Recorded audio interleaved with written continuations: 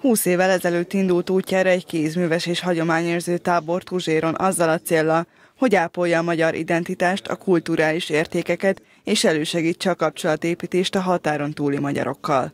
Idén Kárpátaljáról, Erdélyből és a délvidékről is érkeztek gyerekek a táborba, amelynek zárónapján egy kulturális kapcsolatépítő konferenciát is szerveztek. Számos területről jöttek határon túli partnereink is jelen vannak, természetesen hazaiak is, helyiek is.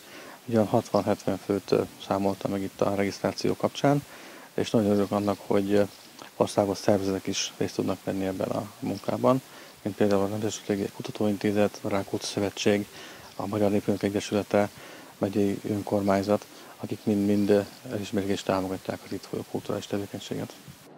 A tábor a Tuzsér községért közalapítvány közreműködésével jött létre, akik más módon is építik a határon túli és a határon belüli kapcsolatokat egyaránt. Emellett természetesen nagyon sok kulturális programot rendezünk, a Kárpát Fest zenei programja a következő eseménysorozat, illetve a mai napon rendezzük pályázat keretében a, a kulturális örökségről szóló konferenciánkat. A kézműves tábor egyik különlegessége, hogy épített örökségben zajlanak a programok, amelyek kiemelt szerepet töltenek be Tuzsér életében. A legfontosabb épített öröksége, ahol most, most is állunk, a, a Lónyai kastély, aminek ugye éppen része a konferenciának az, hogyan mentsük meg, hogyan tudjuk majd hasznosítani ezt az épített örökséget, amely ezzel szállal kötődik a tuzséri lakossághoz. Lónyai Menyhért neve és tevékenysége kiemelt jelentőséggel bír a térség számára. Éppen ma eh, volt eh, Lónyán, a lónyai eh, kápolna, a lónyai sírhelynek az ünnepélyes újraépítése, renoválása alkalmából egy nagyon szép ünnepség, ahol pénzügyminiszter és úr is tiszteletét tette, nagyhatású beszédet mondott ebből az alkalomból.